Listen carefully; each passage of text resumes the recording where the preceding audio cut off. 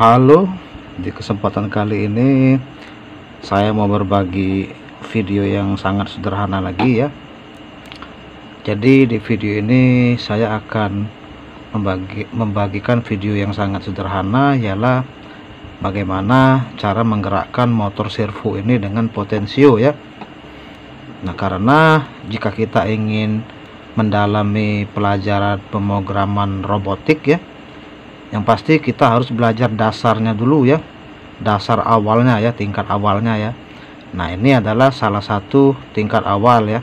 Istilahnya dasar untuk kita belajar pemrograman elektronik robotik ya. Jadi di sini saya akan mencoba menggerakkan motor servo ini dengan potensio ya.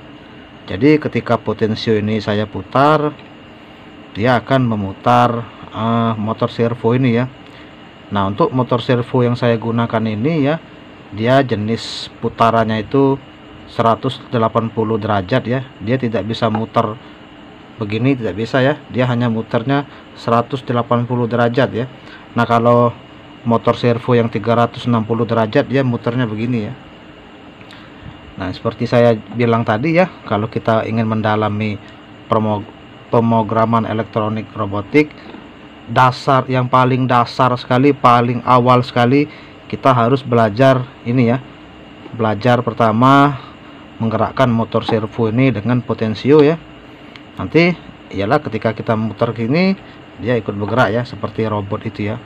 Tapi intinya ini dasar sekali ya basic sekali ya kalau kita ingin mendalaminya ya. Oke tentu saja jika Anda ingin membuatnya ya, Anda harus mempunyai controllernya ya. Di sini saya menggunakan controller Arduino ya. Arduino Uno ya. Dan jika Anda it's Bentar ya, jika Anda belum punya controller ini Anda bisa membelinya ya di toko online banyak ya jualnya ya. Controller ini ya tapi jika anda sudah mempunyainya ya langkah pertama anda harus menginstalnya dulu ke komputer ya agar dia bisa diprogram ya. Setelah diinstal anda download softwarenya ya software IDE Arduino Uno nya ya ada di Google ya. Oke setelah itu bahan-bahan yang saya gunakan satu potensio ya. Satu motor servo ini ya.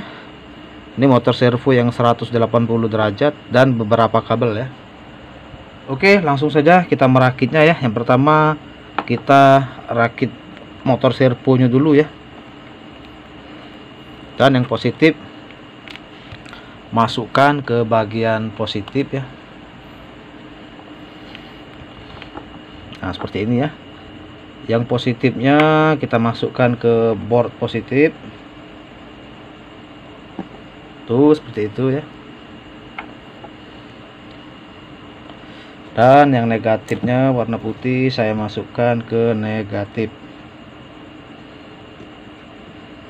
Yang warna hijau ya. Nah seperti itu ya. Ya berikutnya yang tengah. Yang pinggir sekali ya. Yang pinggir sekali ya. Nah ini ya warna apa ini? Oranye. Ya itu saya sambung dengan yang hijau ya karena dia dia ini tidak ada colokannya ya jadi saya sambung dengan colokan apa istilahnya tuh uh, gini ya. Ini kan kalau dari motor servonya seperti ini aja ya. Karena dia dia tidak ada colokan seperti ini jadi saya sambung begini ya. Saya jumper ya. Nah begini ya. Dan ini untuk datanya ya. Untuk datanya saya masukkan ke min 3 atau nomor 3 ya. 0 1 2 3 sini. Itu ya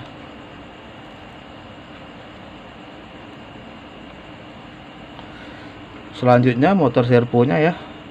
Kita pasang di dekat-dekat aja di sini ya.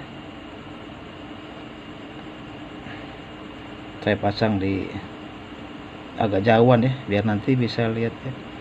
Di sini nih agak jauhan. Uh keras. Ntar ya. Uh keras banget. Nah di situ ya. Oke setelah itu kita pasang yang positif dulu dari motor servonya ya. Sebelah kanan sini ya positif ya. Masuk ke jalur positif ya digabung dengan eh yang potensionya positifnya digabung dengan positif dari motor, motor servo ini ya. Hmm ini ya. Dan yang negatifnya juga digabung dengan negatif motor servo ya. Sebelah kiri sekali bawah sini taruhnya ya. Nah seperti itu. Dan yang tengah adalah datanya ya. Yang tengahnya data ya.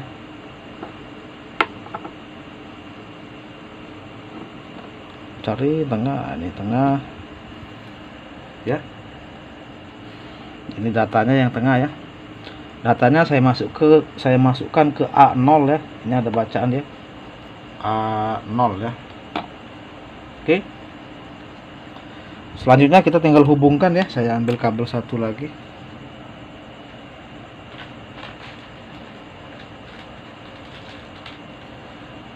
Tinggal kita hubungkan. Tinggal kita hubungkan ya. Jadi yang kita hubungkan yang bagian positif ke 5 pol ya ini itu ada 5 pol ya. 5 volt. Tuh. Ini ya tuh masuk 5 volt ya. Masuk ke positif.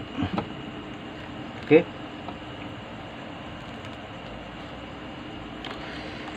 Berikutnya yang ground ya. Ground kita masukkan dia ke ground ya. Kita groundnya ambil di sini aja ya ini ini ground ya. Tuh. Tahu di sini aja nih biar dekat nih kita ambil ground di situ. Dan masukkan ke ground ya. Bawah ya. Hmm seperti ini ya.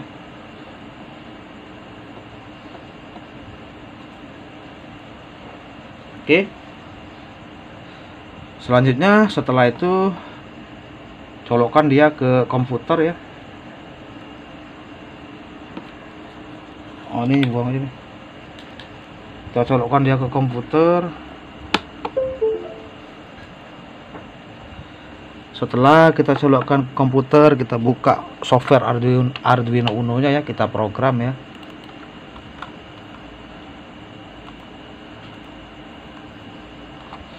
Oke setelah terbuka kita hapus dulu yang bawaannya ya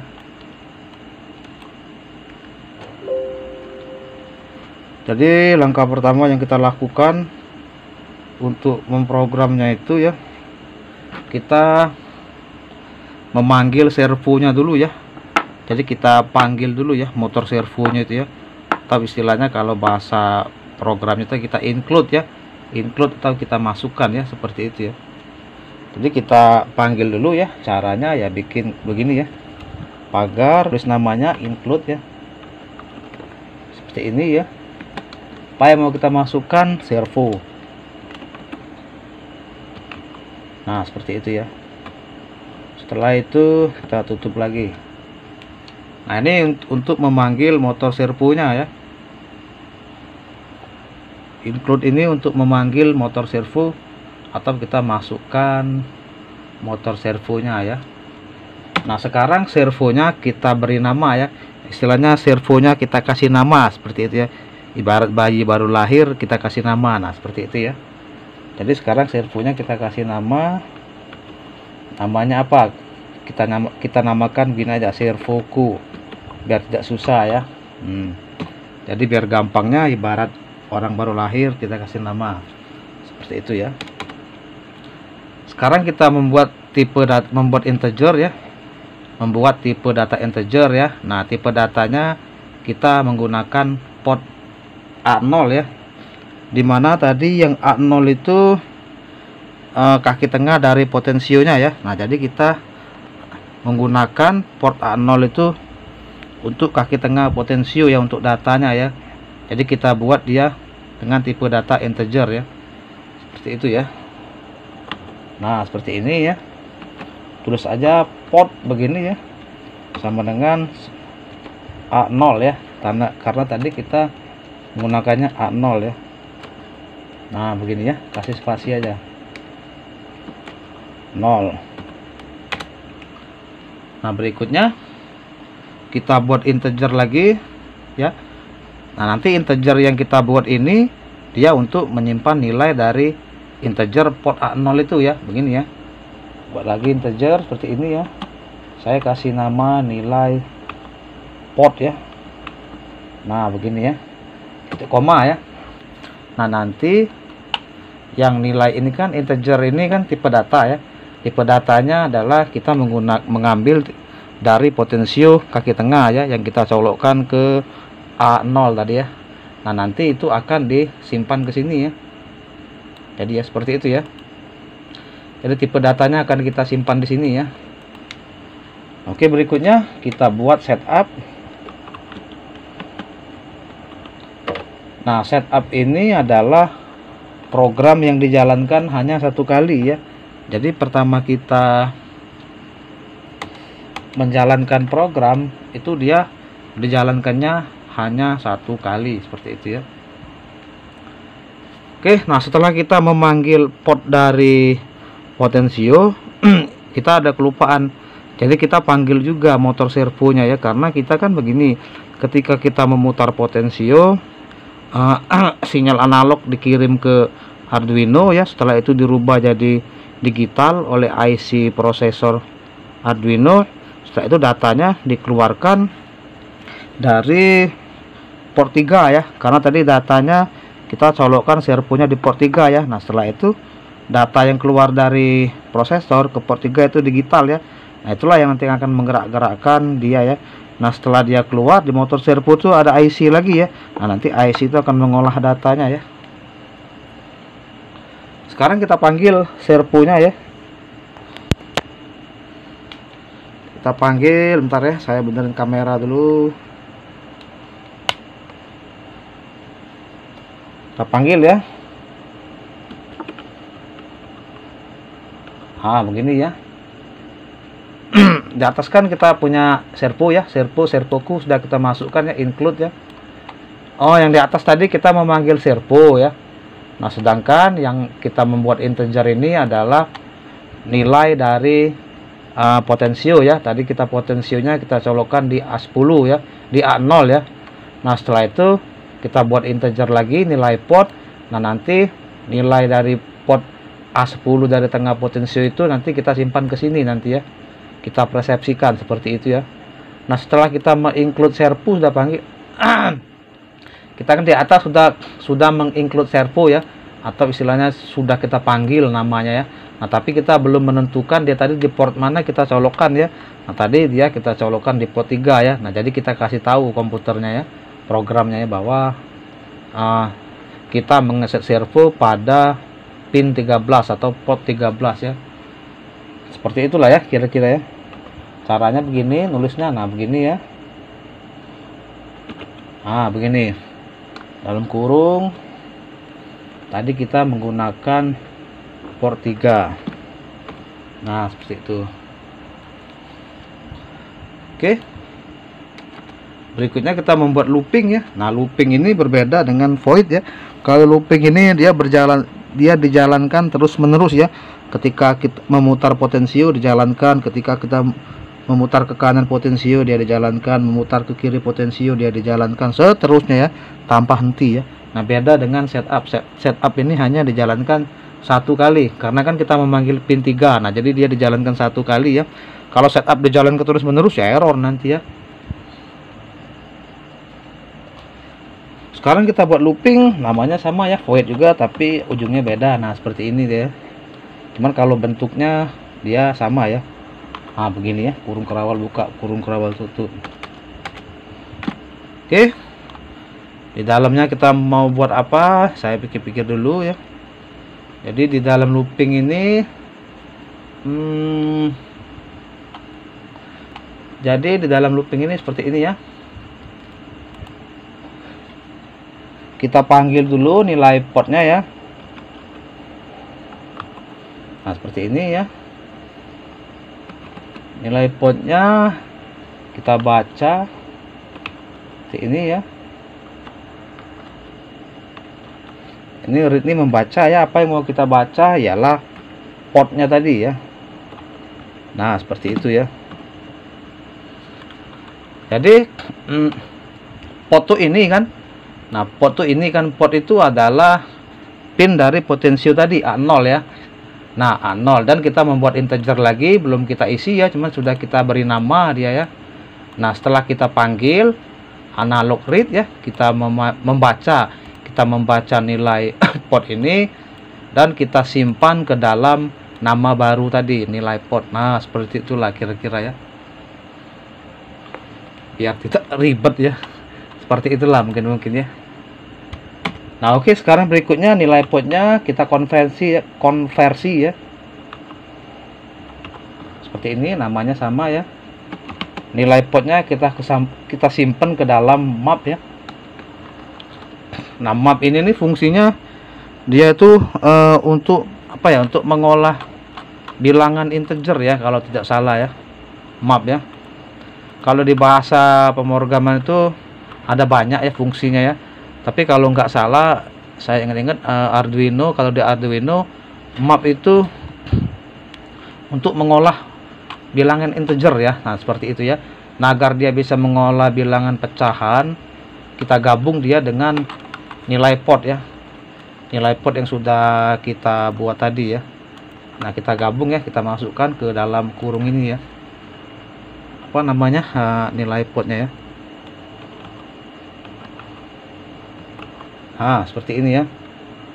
Koma dan sekarang kita konversi kita mengkonversi ya nilai potensio ya. Nah kita beri seperti ini dia nol ya. Koma lagi. Seperti ini. Koma ya eksis. Ujungnya 10 koma 180 derajat. Nah seperti itu ya. Jadi yang nilainya yang tadi nilainya yang tadi nilai potnya dari 0 sampai 1023 ya. Dan kita konversi dia dari 10 sampai 180 atau biar enak dari 0 aja sama kan ya. Jadi nilai potnya dari 0 sampai 1023 kita konversi dia dari 0 sampai 180 derajat. Nah 180 derajat ini adalah gaya putaran servo ya. Karena servo yang saya punya dia tidak berputarnya 360 ya. Dia hanya berputar 180 kalau ini saya kasih 360 nanti potensinya panas dan meledak ya. Seperti itu ya ya kira-kira ya. Oke. Berikutnya kita keluarkan ya nilainya ya ini. Apa yang mau kita keluarkan nilai pot.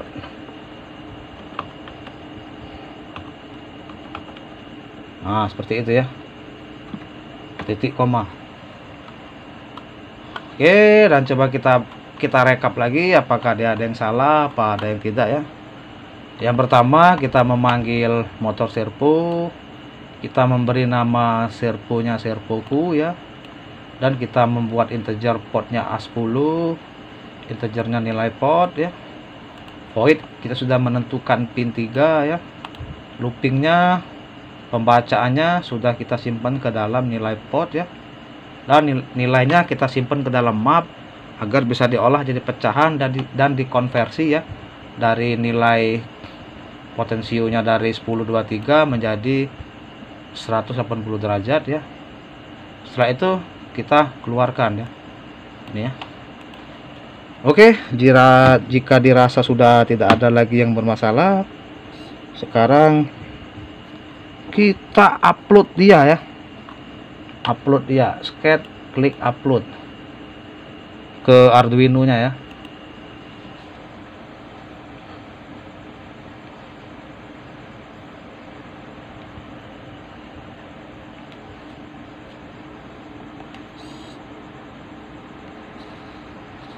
Oke, upload sudah selesai. Sekarang kita balik ke kamera ya, kita lihat apakah dia sudah berfungsi. Oke, let's go. Nah, ini ya. Ini servonya ya. Sekarang saya putar dia ke kiri ya. Saya putar ke kanan. ke kiri lagi ya ke kanan lagi ke kiri lagi ke kanan lagi dan ke kiri lagi. Nah oke okay ya seperti itulah ya. Jadi jika anda ingin mendalami robotik ya konsep dasar awalnya ya harus belajar ini dulu ya. Oke terima kasih. Semoga aja ada manfaatnya ya. Wassalamualaikum warahmatullahi wabarakatuh